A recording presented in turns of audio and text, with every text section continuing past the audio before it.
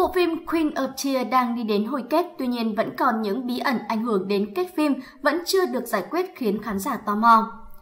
Vai trò chiếc bút ghi âm của Hong Ha-in trong tập 12 Queen of Tears, Hong Ha In có cơ hội gặp lại ông nội bất chấp sự ngăn cản của Woo Soo-hee. Cô đưa cho ông chiếc bút ghi âm được ông tặng trước đó. Cô hy vọng khi tỉnh táo, ông sẽ tiết lộ những bí mật có thể giúp nhà họ Hong lấy lại tập đoàn.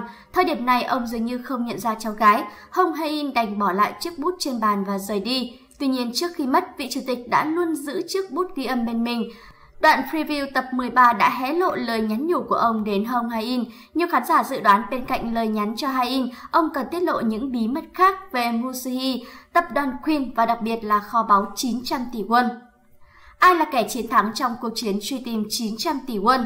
Cuộc chiến truy tìm kho báu giữa gia tộc họ Hồng và mẹ con Yoon Eun Song đang đến giai đoạn nước rút. Cả hai phe đều giáo diết tìm kiếm số tiền này với những mục đích riêng.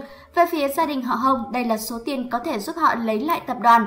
Đối với Yoon Eun Song và mẹ của anh ta, nếu tìm được 900 tỷ won, địa vị trong công ty của cả hai người sẽ được củng cố, họ sẽ trở thành cổ đông lớn nhất trong Queen Group.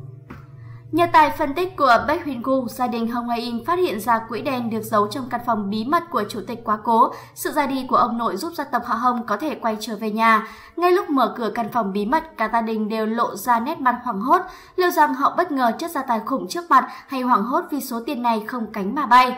Bên cạnh đó, nụ cười chiến thắng của Musihi cũng khiến khán giả chú ý. Bà ta cũng chính là người đề xuất gia đình họ Hồng tham quan nhà. Người hâm mộ cho rằng mẹ con Eun Song đã đi trước một bước và lấy đi số tiền. Ai mới là người cứu Hae-in lúc nhỏ? Ở những tập trước, biên kịch đã tung ra một số manh mối về người cứu Hae-in lúc nhỏ, đã không phải là anh trai của Hae-in mà là người có vẻ lớn hơn cô một vài tuổi. Trong tập 12, Yoon Eun Song đã tiết lộ mình chính là ân nhân lúc nhỏ của cô. Tuy nhiên, tại phần kết tập 12 trong lúc cùng mẹ Hong Hae-in xem ảnh, mẹ Baek Hyun Gu đã tiết lộ anh từng cứu một đứa trẻ khỏi đuối nước khi tham gia trại thủy quân lục chiến cho trẻ em. Cảnh quay cho thấy Baek Hyun Gu đã bơi về phía Hong Hae-in, tuy nhiên khi lên bờ anh lại xuất hiện một mình và nhìn về phía cô đang run rẩy. Có phép màu nào cho căn bệnh của Hae-in trong những tập cuối Queen of Tears hay không? Theo lời bác sĩ thì Hong Hae-in chỉ có thể sống được khoảng 3 tháng. Khán giả phát hiện ra mốc thời gian từ khi Hai In khám bệnh đến lúc vạch trần Yoon Eun Song tại sự kiện đã được hơn 3 tháng. Đó là lý do bệnh tình của cô ngày càng trở nặng. Trước những triệu chứng ngày càng bất thường của Hae-in, người hâm mộ lo lắng bộ phim sẽ có kết thúc buồn, bởi lẽ chỉ còn 4 tập phim nữa thôi, rất khó để có thể giải quyết nút thắt này một cách hợp lý. Trước những cú bẻ lái bất ngờ từ biên kịch, nhiều khán giả vẫn nuôi hy vọng có một phép màu cho căn bệnh của Hae-in để Queen of Tears có kết thúc thật sự trọn vẹn.